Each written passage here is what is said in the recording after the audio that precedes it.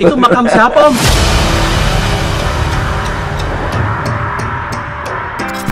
Ah gila kita di rumahnya Om Iwan Fals nih. Sampai juga ya. Nyasar dari tadi gede banget cuy. Iya. Gokil.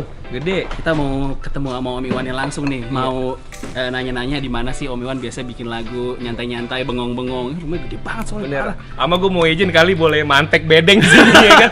Numpang hidup. Oke, kita akan coba cari Om Iwan ya. Ya, ikutin. Sih, Ya, Pak. ya, ya. Eh, Iwan Falsnya ada, Pak? Eh, ada. Ada. Ada. Oh, Ya. boleh dipanggilin Pak, tolong Pak. Iya. Kita ada tamu dari Ah. Gen FM gitu Pak ya. Ah, ya, Ya. ntar. ah. Panggil Pak. Wah, eh, udah. ya, udah. Pak, Pak, ini Eh. Iwan Falsnya sendiri. Oh, Iwan Fals. Oh, maaf Om, Oh, temen saya Om. nggak kenalin pakai Oh, masker. iya. Oh, oh. Terima kasih loh sudah Ah. disambut di rumah Om Iwan ini. Ya.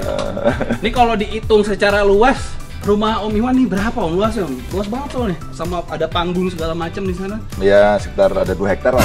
Wah, hektar. Oh, hati-hati tinggal dalam gang menjerit sepertinya melihat 2 hektar, 2 hektar.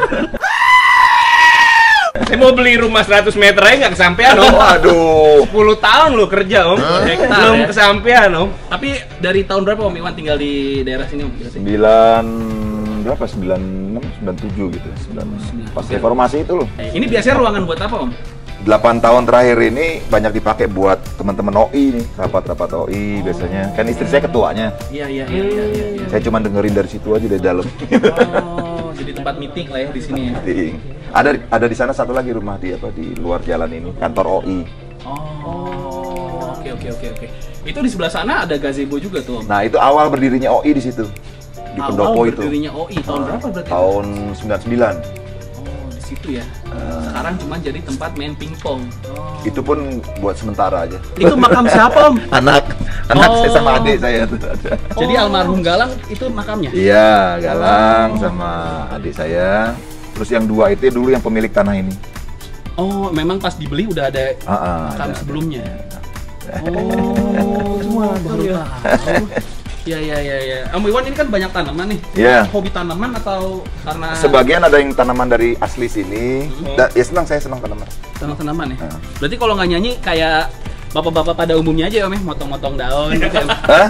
Enggak, ada ada, ada petugasnya. Oh, ada petugas. Petugasnya, ntar gue dimarahin sama dia. Oh, Bapak jangan motong-motong daun. Nyanyi aja sono. Saya pikir kayak bapak-bapak komplek Om kalau sore Nyiram air air got gitu enggak ya? Nah ini dapur. nih. Sini nih, saya lihat gini. Sini nih kita masak nih. Kalau nggak ada ini wah kelaparan semua nih. Sini guys.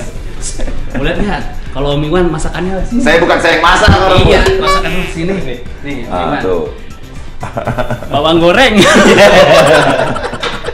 Gila. Oh, ini dapurnya. Nah ini nih yang penting nih sini. Apa nih? Nih. Oh iya. Peraturan pengambilan makanan. Ah tuh. Oh, ini Bagian makanan Oh, jadi karyawan makan gratis Om sini Om. Iya dong. Oh. oleh tim dapur. Oh, nggak boleh ngambil sendiri ya, nggak boleh Iya. nyendok sendiri, coy. Makan siang maksimal jam 11, oh makan malam dua kali makan. Enak juga jadi karyawan Om Iwan nih. Nih. Gaji bersih nih, makan gratis. Soalnya di sini ada sekitar 30-an lebih. Karyawan. Oh, iya. 30. Ini ah. masih gede gini mah gila. Iya. Ada Gede. Ini rumah apa sekolahan, Om? Orangnya ada 30. campur. Syukur ya. Rumah, rumah belajar, rumah, rumah kerja, rumah sekolah, Semuanya eh, ya. rumah. Nah ini Om, eh, semua tempat Om Iwan tuh kita lihat dari Ini depan. juga, di sini enak juga. Nah ini kan ada, ini jelas gudang alat musik, tempat naruh musik. Nah Apa kalau nih? penaman-naman ini kayak teras manggis. Itu apa Om? istri saya tuh supaya bisa bedain tempat-tempat itu apa. Oh ini Patokan gitu ya? kayak oh handphone ketinggalan itu di teras manggis gitu biar gampang. Gitu. ya? Oh iya. Kalau ini lukisan-lukisan anak-anak OI ini. Orang-orang eh, dia saya ada nih, terus itu juga. Nah ini guys kita udah sampai di ruangan eh, kayaknya ruangan latihan karate dojo ya. Ya dulu sempat juga jadi ruang lukis, eh, sekolah lukis atau tari atau apa gitu. Sanggar lah, ya? Ah, buat diskusi teman-teman. Juga sekarang eh, karate gitu. Om Iwan masih aktif karate Om? Masih. Masih. Om kalau dikeroyok tiga orang masih bisa ngelawan Om? Enggak. itu udah burem. Oh iya, iya. keren keren. Anak-anak ada yang ikut karate juga Om? Anak saya. Wah, jika apa raya enggak kayak dia apa eh, Oh, ini tiga Rabu Cup tuh kejuaraan yang Om Iwan bikin di sini. Iya. Oh. Ini saya nih, Piagam Ini aja. nama dojo Hilangkan. Iwan pernah ke eh, kok sekretariat? Oh, ini sekretariat ini karate. Itu Tebet. rumah saya ya. Ya, itu eh, guru besar saya di situ. Nah, Tuh. tapi Om eh, hubungan eh, karate dengan eh, karakter Om Iwan ada nggak yang akhirnya membentuk karakter Om Iwan gara-gara karate? Ya, saya berusaha untuk punya kepribadian yang inilah, untuk ini, ini aja. Ini nih Ada ya? kejujuran, ada. Saya jujur nggak? Jujur, jujur, Om, jujur. Punya pres- punya prestasi nggak? Oh yes, jangan ditanya. Sopan nggak ya? Sopan Om. Menguasai diri nggak? Jelas Om. Punya kepribadian nggak? Iya. Nah, itu. Jelas. Dan yang paling penting nih Om Iwan saking cintai dengan Indonesia. Di antara eh, ini karate ada burung Garuda guys. Keren, tetap cinta Indonesia. Mantap. Kalau lagi nggak ada yang karate, apalagi pandemi, dijadiin apa Om? Kemarin baru ada Munas nih di sini Munas OI yang ketujuh. Udah udah eh, udah dapat pemimpin baru.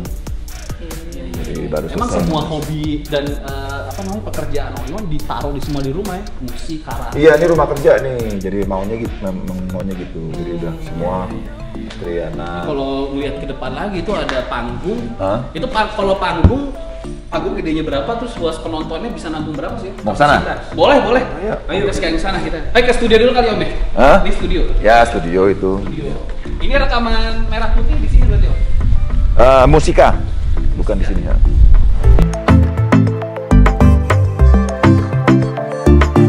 Ini buat kalau apa?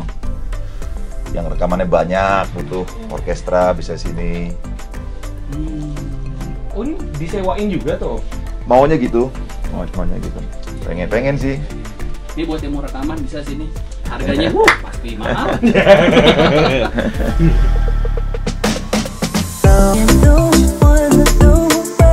Ini toilet toilet. Nah ini buangan toiletnya ini ke sini. Heeh. Ini ini biogas nih sebenarnya.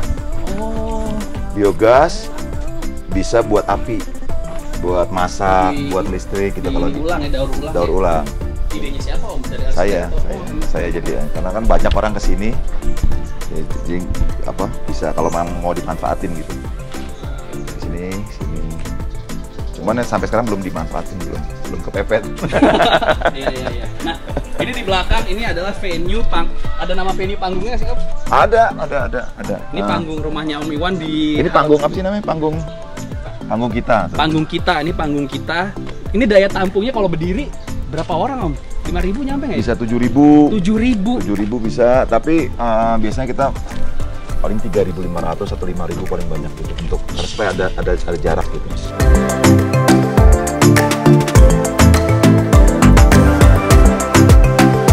Terakhir konser sini kapan Om? Atau acara musik selama pandemi pernah dapat juga nggak di sini? Eh, 2017. Sayang. gila ya makanya itu. Ini sampai terkelupas terkelupas gini apa nggak kasihan lu mungkin? iya nih, saking nggak ada orangnya. Nah ini ruang ini tadi nih maksud gue yang gue bilang yang ruang yang tadi cerita itu ruang artis atau ruang apa? Oh nyambung ke sana ya? Heeh. Nyambungnya lewat sana ya? Sini ada ruang kamar-kamar Hmm. buat nunggu naik panggung sini. Iya iya. iya. Nah, di, ini buat ruangan buat sound system segala macam. Oh. Juga tembus nih. gitu. Oh iya. iya, iya. Om berapa om berarti panggung ini dibikin? Waduh, udah udah berapa tahun dah? 2000-an, mulai 2000-an? Iya kayak gitu. 2000-an ya? Sebelum kita pamit pulang, kita Iya. mau kasih hadiah nih buat Om Iwan Fals. Kita akan meninggalkan satu buah tanaman di Iya. tempatnya Om Iwan sebagai Wah. bentuk simbolis. Banyak sekali tanaman Om Iwan di rumahnya ya. Ini dia Om. Iya, Wah, Om, ini simbolis. apa? Tanaman apa nih? Eh, Tanaman apa? saya tidak tahu karena ini adalah pohon Om Iwan Fals sendiri. Iya. Om Iwan ternyata tidak mengetahui pohonnya sendiri.